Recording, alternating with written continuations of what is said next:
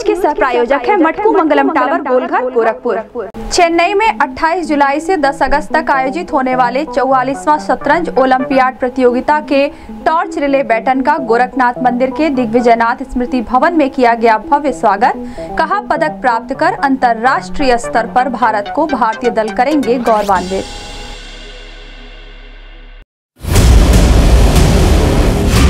एक शातिर चोर को राजघाट पुलिस ने किया गिरफ़्तार। सात मोटरसाइकिल व चोरी का 12 मोबाइल किया बरामद। एसपी सिटी ने किया खुलासा।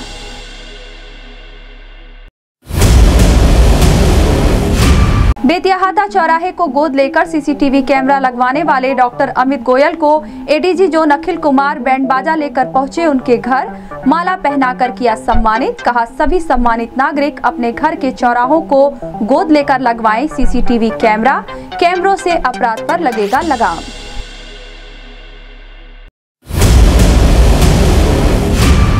बरसात के पानी को निकालने के लिए जीडीए के द्वारा खरीदा गया water suction pump truck GDA उपाध्यक्ष ने कहा, बरसात के समय हुए जल जमाव के पानी को वाटर सक्शन पंप ट्रक से जाएगा निकाला।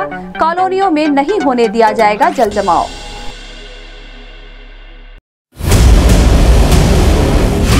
नव नवनियुक्त सीडीओ संजय कुमार मीणा ने पदभार किया ग्रहण। कहा, शासन की योजनाओं को जमीनी स्तर तक लागू करवाना होगा, उनकी पहली प्राथमिकता।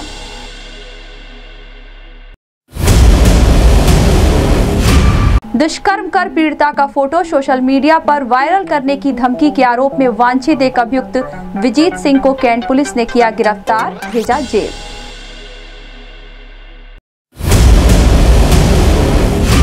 एसपी श्री कृष्ण कुमार विश्नोई के नेतृत्व में कैंट पुलिस ने बेतियाहाता चौराहे पर चलाया वाहन चेकिंग अभियान।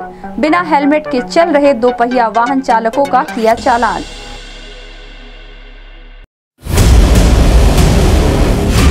नाबालिग के अपहरण के आरोप में वांछित एक अभियुक्त नीरज गौड़ को शाहपुर पुलिस ने किया गिरफ़्तार, भेजा जेल।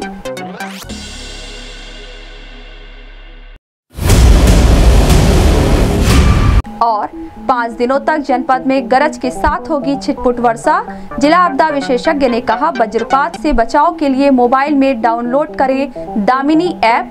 15 मिनट पहले मिलेगा जनपद में कहाँ होगा वज्रपात की सूचना।